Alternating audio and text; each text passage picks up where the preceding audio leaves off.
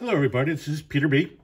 And today I'm going to talk about Fred McGriff, the newly inducted Hall of Fame player.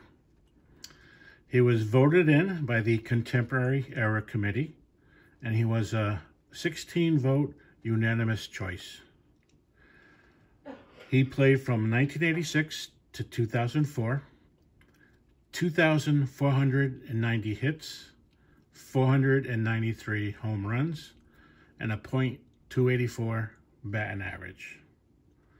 He was a five-time five-time All-Star, and he hit 30 home runs with five different teams.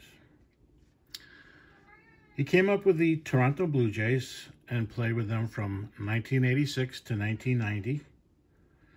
In 1989, he hit the first home run, first Blue Jay home run at the Sky Dome. And in 1989, he led the American League with 36 home runs. He was then traded to the San Diego Padres, where he played from 1990 to 1993. In 1991 was his first of many All-Star Game appearances.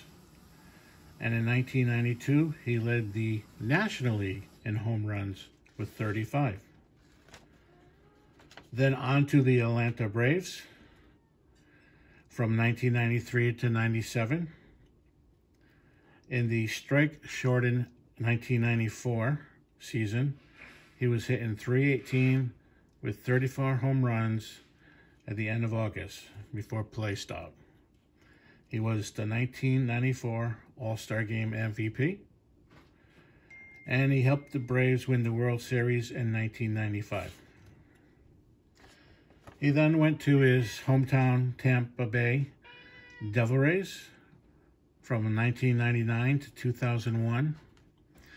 He was traded just before the start of the season, so he was one of the very first Tampa Bay Devil Ray players. On to the Chicago Cubs from 2001 to 2002. Then the Los Angeles Dodgers from 2003 and then back to the Tampa Bay Devil Rays in 2004. He only batted 181 with only two home runs from the end of May to mid-July, so he was released July 28, 2004, just seven home runs shy of 500. So my question is, which logo will be on his Hall of Fame plaque? Will it be from his first team, the Toronto Blue Jays, where he had success playing with them and helped them win a World Series? Or will it be the San Diego Padres, where he got his first All-Star Game invite? Or will it be the Atlanta Braves? Some people think that he was a main ingredient, that the super team of the Braves finally won the World Series after trying hard so many times.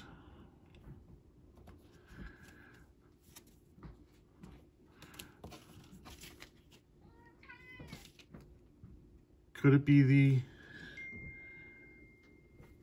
Chicago Cubs?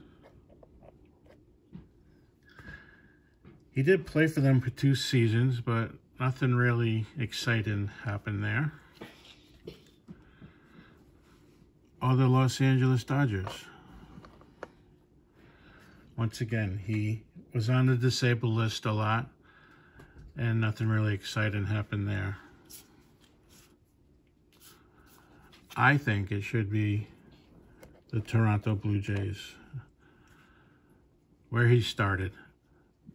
That would make him the second Blue Jay represented on the Wall of Hall of Fame plaques. Roberto Alomar has a Blue Jays logo. Roy Halladay probably should have a Blue Jays logo, but he had his real good seasons in both Toronto and with the Phillies. And after he died, when he was inducted into Hall of Fame, his family decided to have no logo on his cap. So he can represent both cities by having no logo. I think McGriff should go in as a Blue Jay. What do you guys think? Thank you.